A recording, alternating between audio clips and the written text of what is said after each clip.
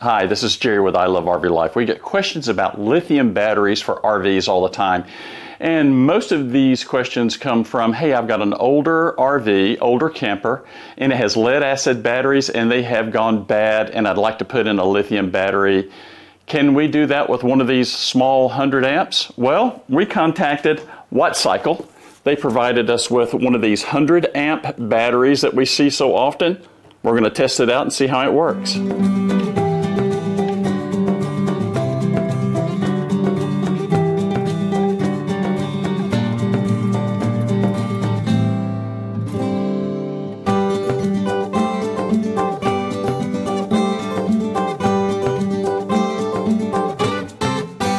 Just gotten home after being three months out on the road. One of the interesting things about this trip that was, uh, you know, quite different than all the others was all the conversations that we had in the campgrounds as we talked with folks. And so many people were asking all electrical questions. It was really interesting. You know, what do you use for batteries? Uh, I've got this battery, I want to change it out. Uh, you know, will that work? What do we do for surge protection? What do we do for soft starts? Oh my goodness, uh, soft starts were probably half the conversations that we had. But something that kept coming up was, Jerry, we don't boondock. Um, we're just trying to get from point A to point B. So many people now have these larger rigs um, and, you know, are needing to be keeping their big residential refrigerators going for, you know, a three hour trip, four hour trip, nine hour trip as we do from time to time. And then we had a number of people that just said, look, we don't have the residential refrigerator.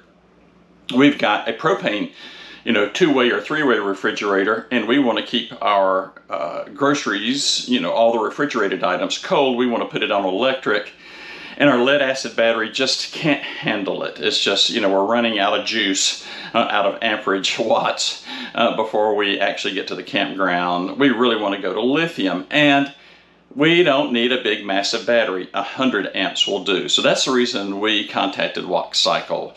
Um, before we came home, uh, they had been sending us emails, would you like to look at our battery? And I said, sure, we want to look at them.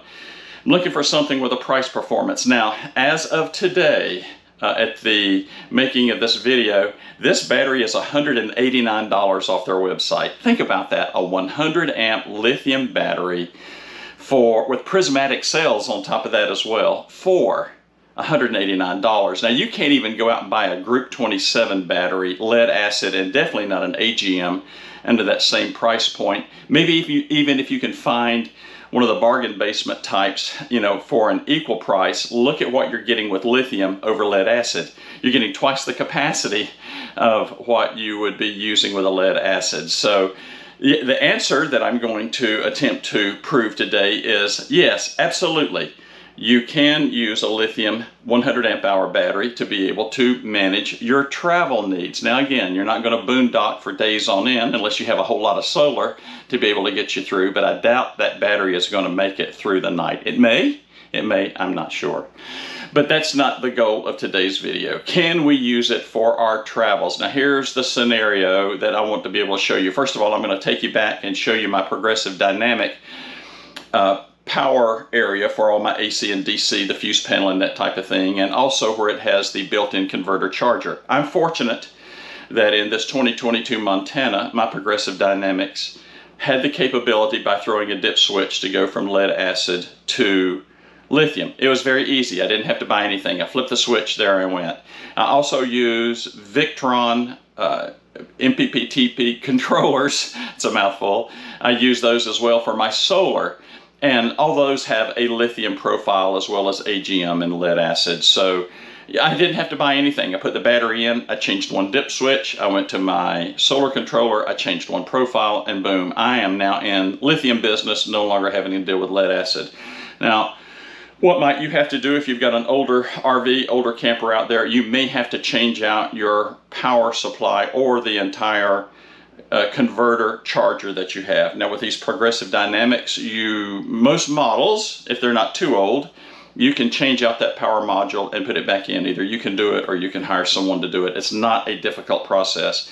If you have one of the standalones, usually it's just an unplug, unwire, and you can change that back out to one that has a lithium profile. What is a lithium profile? You want to be able to charge these batteries at 14.4 to 14.6 volts and you uh, don't uh, have uh, these heavy duty charges that come in when lead acid go down to uh, bring them back up to where uh, they need to be. You do not have that type of a profile that you need that with a lithium battery. Okay, let me just, before I get started, let me show you what my uh, Progressive Dynamics look like and I'll show you the little slot. And just in case you have a similar converter charger and power panel.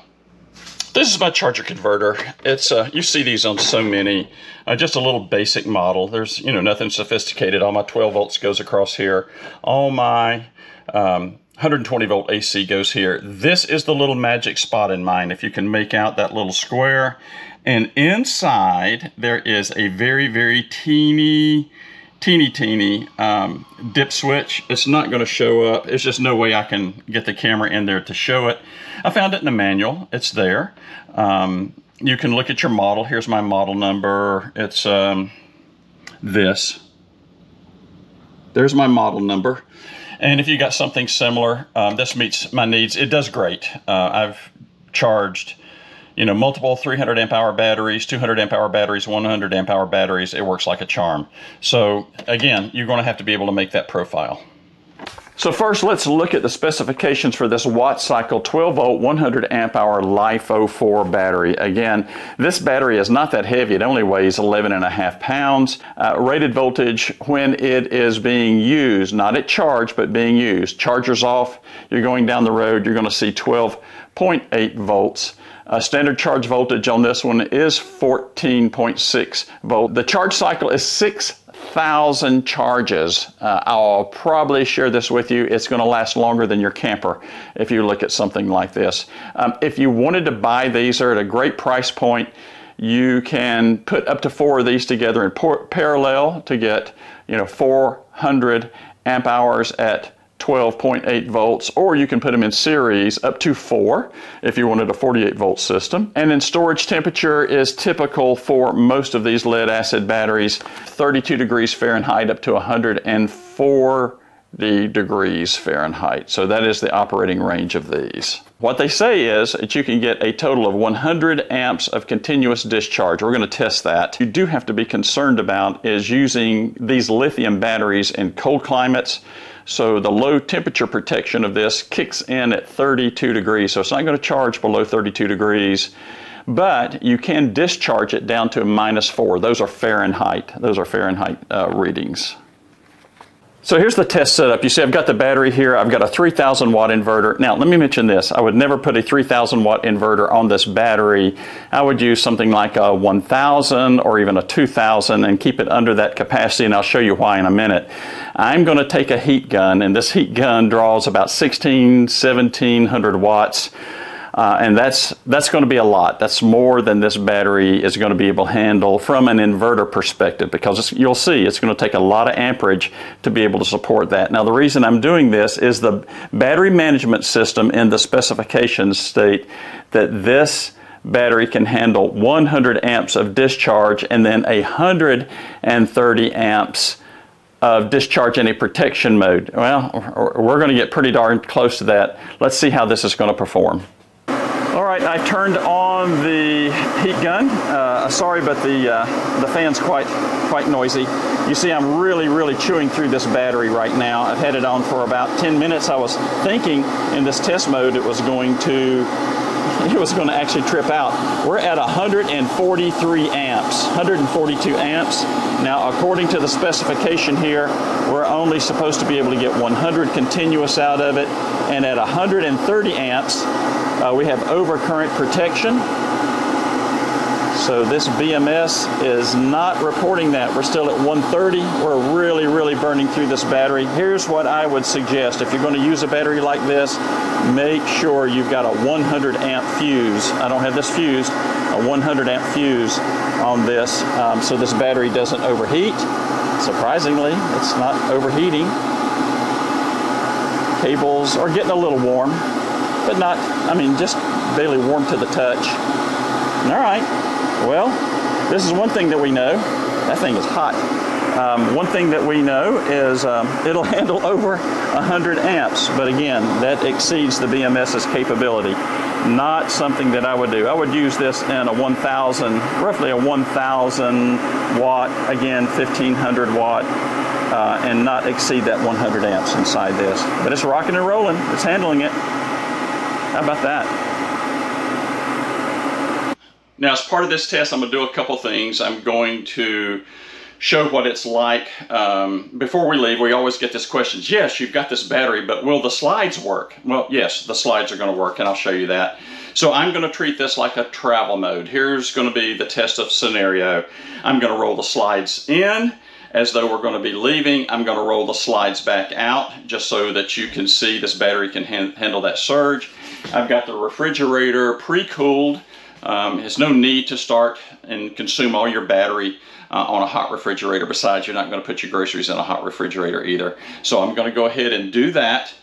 And then I'm going to leave our MaxxAir fans on. It's supposed to get to 97 degrees today, so it's going to be hotter than Blue Blazes. This will be a good stress test. It's going to get warm in here, but I'm going to turn my Max fans on automatic so that I can exhaust some of the heat that's out here. So this refrigerator is probably going to work a little harder than what it would normally work if I had air conditioners running. Of course, I'm not going to be able to run air conditioners on a 100 amp lithium battery. So this will be a, a good test and uh, we'll see exactly what time I flip the switch on this and let it run on battery only. Um, but we will, and um, we'll let it run. Well, we'll just see. If I can get five hours out of it, I'll be happy. Um, maybe with the, as early as I'm starting this, if I can get seven or eight hours, I'll be thrilled. So uh, we'll just give this thing a run for its money and see what it's going to do. Uh, let's go ahead and get this started. So here we go. Uh, there's the battery installed. This is normally where all the 300s live. This is inside my, my storage bay. And uh, you can see how small this is. Uh, there's my hand laying on it. These prismatic cells are absolutely amazing what they can do with them. We'll go ahead and look at my Victron uh, in just a minute and we'll see just from using this clamp on we're drawing about 9 amps out of it. So we'll see how long this will go. The refrigerator could possibly be running wide open through the inverter. Here's my Magnum Precision 2000 watt uh, sine wave inverter. So that's what's powering my refrigerator and a few other accessories. And also I mentioned I'm going to be you know doing the slide test and um, the refrigerator will be running and I'm going to be running fans. So we'll see how this is going to be performing today. This comes up on every single comment of any battery I've ever reviewed. But Jerry, will it work those big heavy duty super slides you've got in that Montana? Well, before we do anything else, we've got the refrigerator running and we've got all these lights on here inside. They're LEDs. So, I don't know. Let's see if the slides will work. So we'll start with what I call the super slide. That baby is some kind of heavy. Let's run it in. Look at that, rock and roll. And I'm also, I can't show it on the camera, but I'm monitoring the voltage sag. And we went from 13 volts to 12.5. So that's one. Let's run the other slide. All right. So if we're getting ready to travel and we're on battery with the refrigerator running, that would be running the slides in. All right, now we get to our destination. Let's run the slides back out. Um, voltage sag on this lighter slide, even though it is a pretty big boy, is a 12.6 volts. This is real time, I'm not going to speed it up. And this is the big one. This is the one that's got refrigerator, stove, pantry. Yeah, and they make noise. It's hydraulic. Boom. Well, that answers that. It runs the slides in and out with no problem whatsoever. We'll look at the inverter. This is the Magnum Dimensions. We're running at 13 volts. You see the little green and yellow light, and that means that the inverter is running, so I don't have any AC power. And then walking back over here to the refrigerator, we can see lights on, 30 degrees, again, 30 degrees here on the fridge, zero degrees on the freezer, so it is working. It's 11.15 uh, in the morning. Um, the sun is starting to get, you know, pretty high in the sky, and then it's gonna go right over here to my left here in the in the video and it is going to blast the side of this camper. And that would be just like us driving down I-75 southbound from middle Georgia. It's just going to blast on the side of the, the camper and it's going to get warm in here. It's going to get really warm. And uh, we'll just see how it's going to work. So this is going to really tax this 100 amp battery. That's exactly what I want to be able to show for you. I'll see you back. I don't know. Let's see. It's, uh, again, let's let it go for about four or five hours and uh, then I'll let you know how this thing is going to be performing. See you in a bit. Okay, it's been five hours. I think the best thing to do is look at the inverter voltage because that is that's really the critical item. I've got this to where it's going to shut down probably, I think I have it set for 11 volts. So once this gets to 11 volts, boom, the inverter quits and then I have nothing at the refrigerator. So it's hot. I mean, I'm looking at the thermometer in here. It is, it's 96 degrees, and that is even with these fans running. So think about this. Not only is the refrigerator inverter running, but I've got four max fans that's been running basically all day long, and they're set on automatic, so they'll speed up and slow down. 96 degrees, that's hot. So that refrigerator's having to work hard, and uh, that's making the inverter work hard, and that's making the battery work hard. So again, the big issue here is what's our voltage? And if you see here, that battery is at 11.8. Now, it'll be interesting. Again, I think I shut off at 11 at 11 volts. I'll keep an eye on it. Uh, it's going to be hard. I'm not, again, at 96 degrees, I'm not going to sit in here for hours and watch that meter and see where it's going to end up going. But um, it's brutal. It is so hot in here. this is crazy. Let's see if we can show this. So if you see, I've got an indoor-outdoor thermometer. Outdoor is showing 90, that's because the thermometer's in a drawer. And if you look at the indoor temperature, all it says is high. That's because it only goes two digits. Once it goes to 100 degrees or more, that's all it can show is high. So again, that refrigerator's having to work overtime. All right, well, again, we're trying to see in an extreme condition how well will this battery perform. I don't think this could be a, a better day to be able to do this. All right, let's run it. Run for. I'll check it again another hour, hour and a half. We'll see if we still have an inverter. Well, 5:30 was the mark. It just stopped. We got down to right at right at the 5:30 mark, and then the battery voltage got so low in the last few minutes that the BMS completely shut off and that was the end of that. But let's look at the time frame. This was six solid hours in brutal, brutal southeastern United States, middle Georgia heat. Uh, it's over 100 degrees today, so hot that my thermometer won't even read it in here. Um, ambient temperature in here is probably about 96, 97 degrees where I'm standing, so it's hot.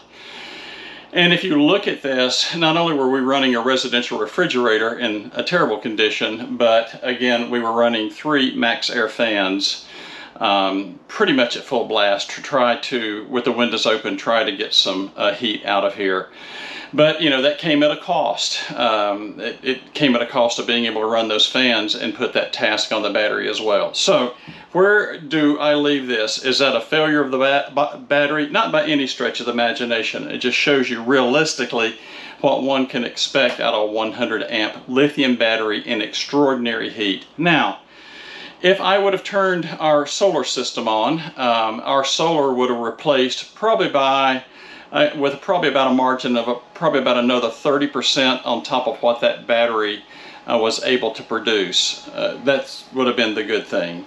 Um, that would have meant that all day long solar would have you know provided all the power that we would have needed for doing what we uh, wanted for our travel and then the remainder could have been left over for that evening if we were still not hooked up and hopefully it would have cooled down some so if you're looking at something like this uh, and you're considering the type of load that we're doing, um, then you would probably require you to have at least two of these batteries. Or if you are running a propane style refrigerator, the amperage draw is substantially less on 12 volts because we're not doing the 12 volt to 120 volt conversion. There's a, probably about a 15, 10 to 15 percent addition of amperage uh, maybe even more so, to convert that 12 volts to to uh, 120 volts. And um, so we were, could have probably, if we were just had, you know, an absorption style refrigerator uh, that ran on propane and we were running just the 12 volts on that, we could have probably squeezed this out probably for about another hour and a half or so. If we weren't running the max fans, would that have made a difference? I don't know because it had been just so blistering hot, the refrigerator would have never turned off. So it's just one of those things that you have to determine what your load capacity is if you're considering going a lithium battery installation. Now, I will mention this as well. If I would have been running a 100 amp uh, like a Group 27 battery, I would have lasted probably about three, three and a half hours. That would have been about all we could do. Running out the slides, running it back in, that took power, and then just running it. So again, we have to be realistic about the test. I appreciate WattCycle providing this battery. I let them know up front that this was going to be a realistic environment, that we were going to put a small 100 amp lithium battery through, and they graciously provided that. And uh, again, if you're looking for this type of solution for your RV, large or small, uh, this gives you a value priced lithium battery. Again, as of today, the recording of this video, it's about 189 And of course, they've got larger batteries as well if you want to consider something like that. I will leave links in the description today, and you can go out to ilovervlife.com and uh, see the specs on this battery as well as the links for it as well. Appreciate you watching. We'll have more videos soon on some additional products and some additional travel. I do this for one reason. You got it. It's because I love RV life.